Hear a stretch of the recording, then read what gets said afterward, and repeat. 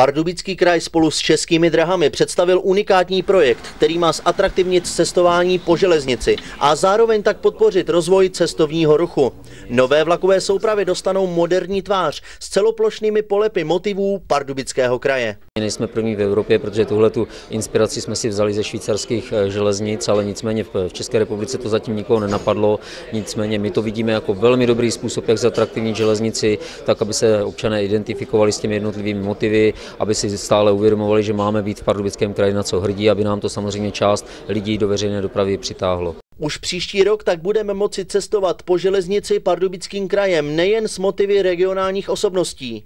Předpokládáme dodávky prvních souprav v červnu příštího roku, to znamená za rok, a pak už eh, to tempo dodávek bude podstatně rychlé, protože eh, chceme do prosince 2012, aby 50% regionálních spojů jezdilo eh, v nových soupravách. V Pardubickém kraji je hodně zajímavostí, které lákají turisty.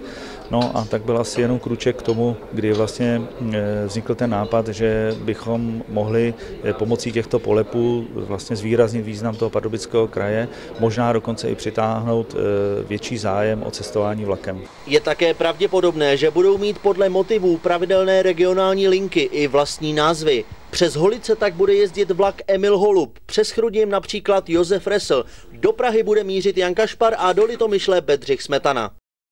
Pardubický pivovar a Máša Agency přivážejí jedinečný koncert skupiny Tři sestry! Takhle nebo v ráji! Nazdar, tady Fanánek. Tři sestry. Těšit se můžeš i na Ečka, Debilheads a doktora PP. Tři sestry. To rozjedou v sobotu 18. června od 18 hodin v Pardubickém pivovaru. Stupenky za 200 pade v síti Ticketstream a prodejnách pivovarka. Víc info na www.třisestrypardubice.cz